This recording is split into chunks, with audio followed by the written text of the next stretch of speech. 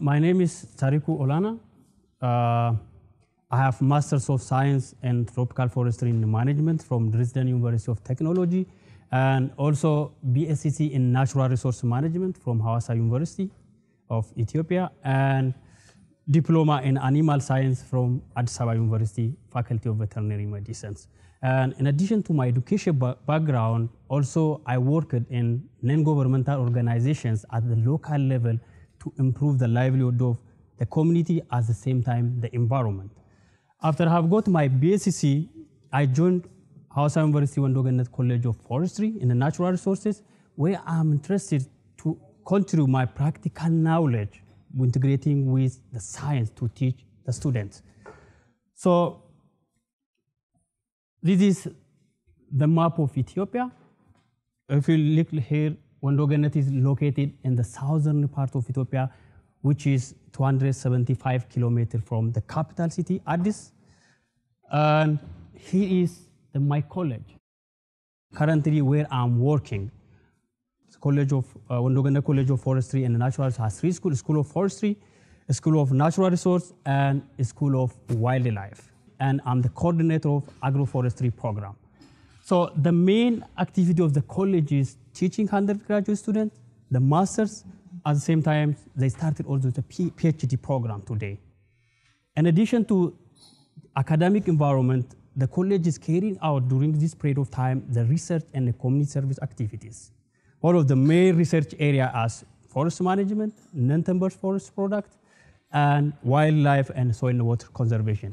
In addition to research, there is a community service project which involves the local community to improve their livelihood at the same time the resource conservation. This is also one of the main uh, campus compound.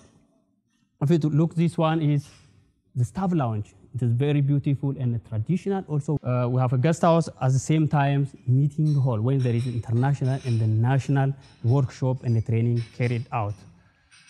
When I come to specifically my activity, there is a community service project which is carried out the project. My community service project is more related to the beekeeping. And the title says that diversifying rural livelihood of smallholder farmers and improving nature conservation by introducing improved beekeeping technologies. If I start with the background of Wondo Genet, Wendogenet watershed is three decades ago, it is the hot spot for biodiversity and habitat for wildlife at the same time the bird species. But during this period of time, do, because of the expansion of the community, the increase the number of community, the forest resources is degraded. If you look on in the former one, it look like beautiful and the biodiversity is rich. But during this period of time, there is a degradation of natural forest and they change the natural forest to the agricultural land. So my aim is, my professional contribution is that how to change this degraded land to increase the biodiversity, the forest coverage. So that my intention is that I start with to do the beekeeping. When we are talking about beekeeping in Ethiopian context, the farmers have long tradition in beekeeping activities and mainly depend on the traditional method. But when we are talking beekeeping, beekeeping is an incentive for the farmers to conserve the forest. The conserve forest at the same time improve their livelihood. So we can integrate beekeeping, beekeeping mostly eco-friendly, and also we can integrate with agricultural production, horticulture, at the same time natural resource conservation. So, as I said before, majority of the farmers in Ethiopia, they are producing honey production with traditional method. Some research findings show that about 95% of the farmers are producing honey with the traditional method the traditional bean hives, mostly prepared by the farmers locally from the local materials. So when we are looking here that the honey harvested from the traditional one is also the quality less at the same time the quantity so that when the quality is less So there is less market value. So it does not encourage the farmers to practice the beekeeping. So my intention is that to change this traditional method to the modern one with the better quality, at the same time, the better in quantity. So if you look here, then when farmers are producing traditional method, they are climbing on the trees. It is dangerous for the farmers also. And also they are hanging the bean hives on the, on the tree. So my intention is that just to change this traditional production system to improve the one, to improve the quantity and the quality and improve the livelihood of the farmers. What I did that I discussed with the case about the project with the district agricultural office and with the community. I went to the district agricultural office to select the peasant associations.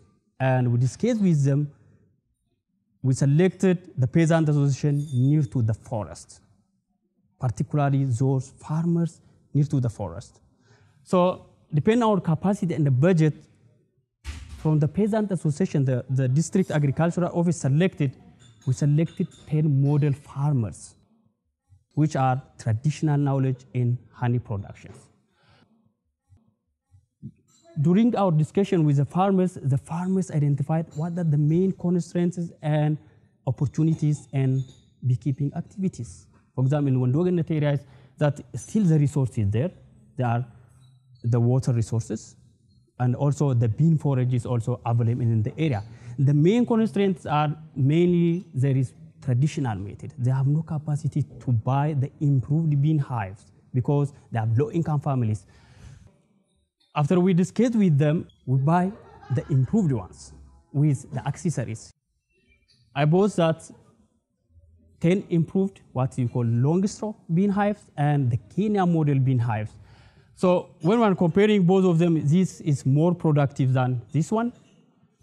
So in quality at the same time, also in quantity. And also I bought with some accessories. This one is smoker, this one is the army gloves also. So with all accessories. After the other inputs are purchased, training was given for the farmers, how they manage these improved beekeeping technologies, how they manage the pests, how they manage the bean hives also, including the inspection of the inside of the hive and how they use these modern beekeeping technologies. So the farmers are trained at the college apiary sites. So we, the college has an apiary site for training and also they are producing honey. So 10 farmers are trained here and these farmers are also responsible to teach other farmers the, as the follower farmers because to improve the productivity and also increase the number of the farmers involved in the beekeeping.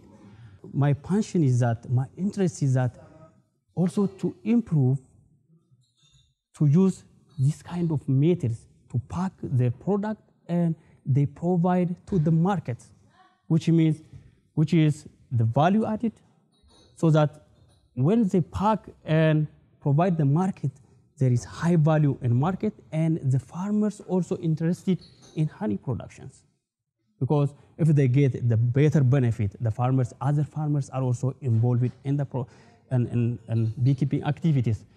When the farmers' income is increased, the intention of the project is that there is the dependency on the forest resources also decrease because the farmers go to the forest because of low income. So after they get a certain benefit for, for, for, from the honey productions, this is one of the projects.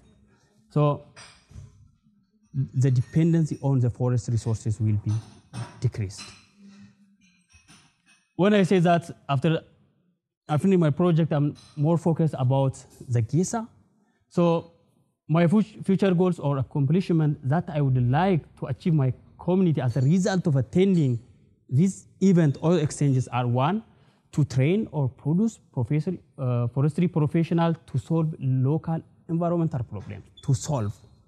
There are many problems in the local, uh, especially in the local area of Ethiopia, so that these students, when I'm teaching them with a practical view, how they solve the environment, how they work with the community, how they extend it with the community, and also to enhance the capacity of the local community in biodiversity conservation with linking incentives, some, like beekeeping activities, and also to improve the livelihood of the local community by sustainable utilization of the natural resources.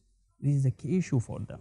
So if we are sustainably using the natural resources, they keep the forest resources also. And also in the future to develop information technologies on environmental management. I have a project on use and applicability of information technology in tropical honeybees so that maybe if I'm um, succeed in the project also to develop information technology on environmental management, particularly the bees. And last to say that, not the least, let us work together to improve the livelihood of smallholder farmers for a better life, for the better environment. Thank you for your attention.